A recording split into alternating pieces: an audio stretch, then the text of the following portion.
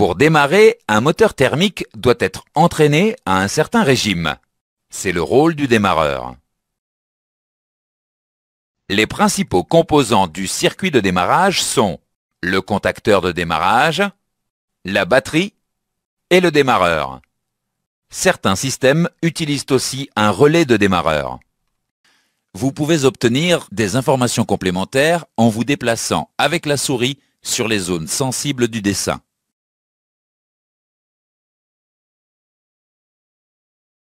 Les principaux composants du démarreur sont le solénoïde, la fourchette, le lanceur et le moteur du démarreur. La couronne dentée du volant moteur est un autre élément important du système de démarrage. Voyons maintenant comment tous ces éléments fonctionnent ensemble. Lorsqu'on demande le démarrage, on ferme le circuit du solénoïde. Le solénoïde est un électroaimant relié à la fourchette. Le solénoïde du démarreur est alimenté en courant, ce qui provoque le déplacement de la fourchette.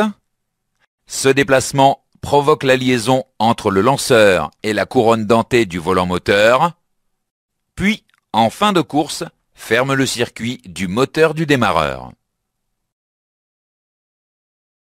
Le moteur du démarreur est alors alimenté en courant et sa rotation entraîne le volant moteur. Le moteur démarre.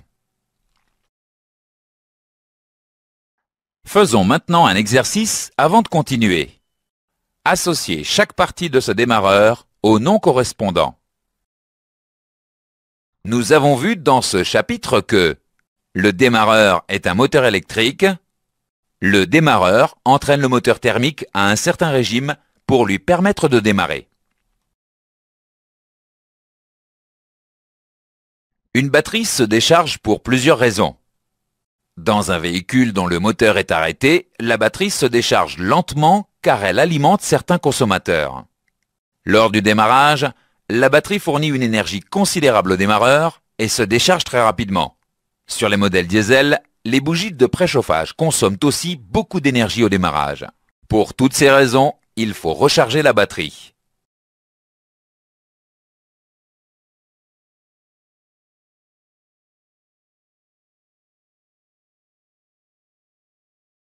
Dans un véhicule, c'est l'alternateur qui, lorsque le moteur tourne, recharge la batterie.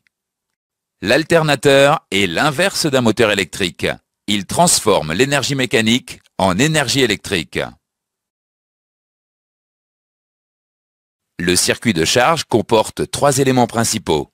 Le moteur, la batterie et l'alternateur. Vous pouvez obtenir des informations complémentaires en vous déplaçant avec la souris sur les zones sensibles du dessin.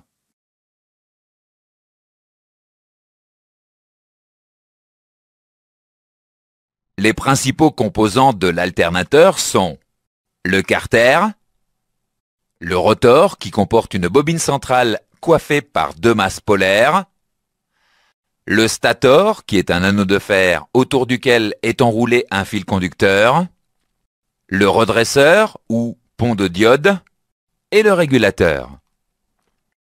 Vous pouvez obtenir des informations complémentaires en vous déplaçant avec la souris sur les zones sensibles du dessin.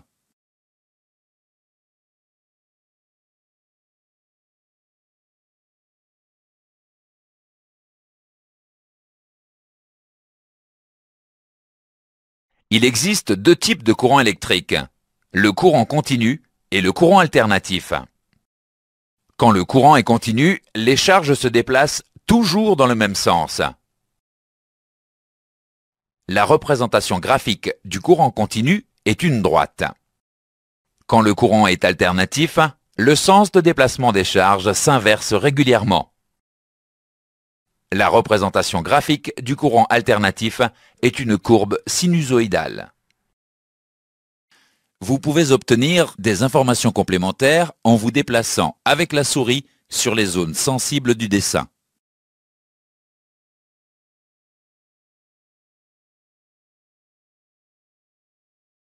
À l'intérieur de l'alternateur, le phénomène d'induction se produit au sein de l'élément fixe appelé le stator.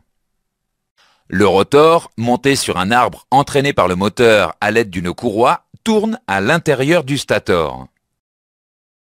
À mesure que le rotor, qui est un électroaimant, tourne à l'intérieur du stator, un courant alternatif est généré dans les enroulements du stator.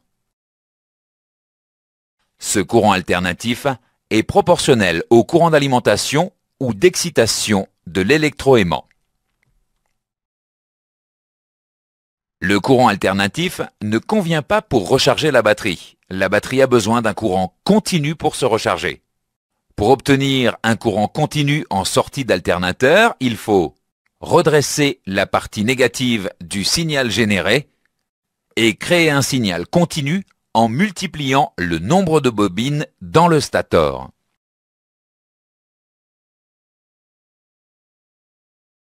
Pour éliminer la partie négative du signal, on utilise des diodes. La diode est l'équivalent électrique d'un clapet mécanique. Dans un sens, le clapet laisse circuler l'eau. De même, dans le sens passant, la diode laisse circuler le courant. Dans l'autre sens, le clapet ne laisse pas circuler l'eau. De même, dans le sens bloquant, la diode ne laisse pas circuler le courant. Vous pouvez obtenir des informations complémentaires en vous déplaçant avec la souris sur les zones sensibles du dessin.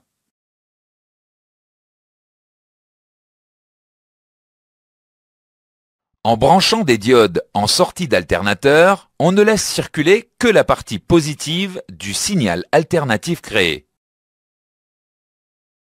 Un montage particulier, appelé redresseur, permet de redresser la partie négative du signal.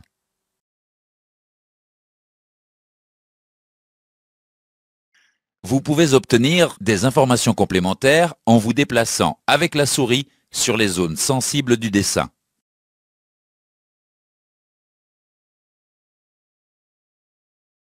Pour créer un signal continu, on multiplie le nombre de bobines dans le stator.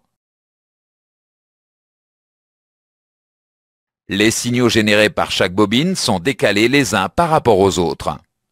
La puissance à la sortie de l'alternateur augmente avec le nombre de bobines.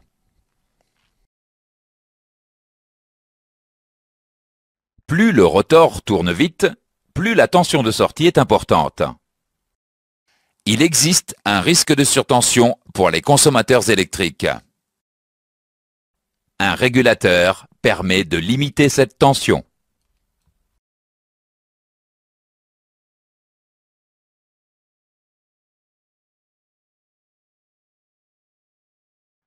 Faisons maintenant des exercices avant de continuer. Quelles affirmations sont vraies? Quel élément de l'alternateur peut être mis en cause? Nous avons vu dans ce chapitre que l'alternateur transforme l'énergie mécanique du moteur en énergie électrique pour recharger la batterie quand le moteur tourne, L'alternateur comprend un rotor et un stator. Le rotor est entraîné par la rotation du moteur. La rotation du rotor à l'intérieur du stator induit un courant alternatif dans les enroulements du stator. À la sortie de l'alternateur, un élément électronique transforme le signal alternatif généré en un signal continu. Un régulateur limite les surtensions en sortie d'alternateur.